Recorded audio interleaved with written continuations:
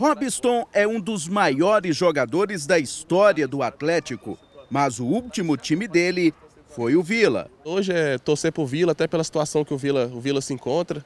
É, para mim, o Vila vencendo hoje é, é mais importante até para a gente manter mais uma equipe no ano que vem da Série B. É difícil, complicado, mas eu acho que nesse momento aí, na sexta-feira, estarei fazendo uma, uma fezinha aí pro Vila. Suspenso até o início do ano que vem, o volante acompanhou o último jogo do Vila.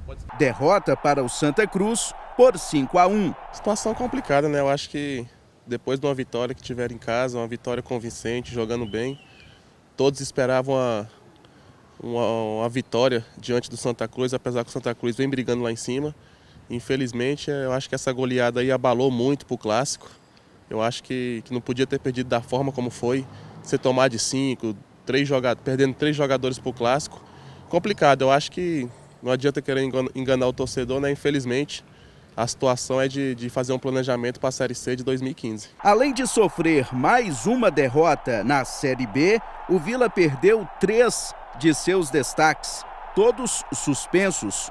O goleiro Kleber, que só não atuou em três partidas, o artilheiro Jamie e o capitão Radamés. Na hora ali do jogo, né, eu já, já passei por essa situação também, às, às vezes a gente fica um pouco nervoso pela situação que foi marcado o pênalti, né, mas eu acho que queira ou não queira, eu acho que a gente tem que ter, manter a cabeça no lugar, porque da forma que foi, que foi é, se dirigida ao juiz, que é a autoridade máxima do jogo, é um pouco complicado. Depois de marcar o milésimo gol, Túlio Maravilha se aposentou. Pelo Atlético, ele fez o gol 600 em 2003. Pelo Vila, o 800 em 2007 e não vê moleza para o Dragão nesta noite. E o Vila Nova, mesmo nessa situação difícil, é, o seu Atlético entrar de salto alto, achar que já ganhou, pode ser, ser surpreendido.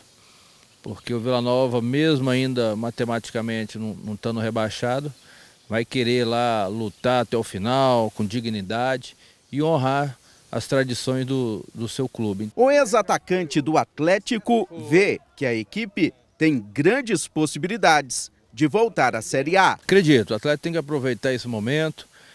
Tem seis ou sete partidas que não perde. O time está evoluindo, está crescendo na reta final e tem um treinador experiente, vai saber usar muito bem isso. Já o caminho do Vila Nova, clube do seu coração, é diferente. Infelizmente o Vila Nova vai cair para a Série C, né?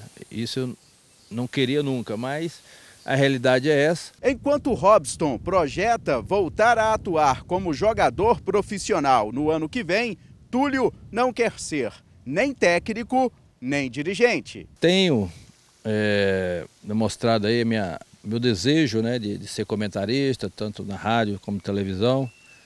Espero que em 2015 apareça uma oportunidade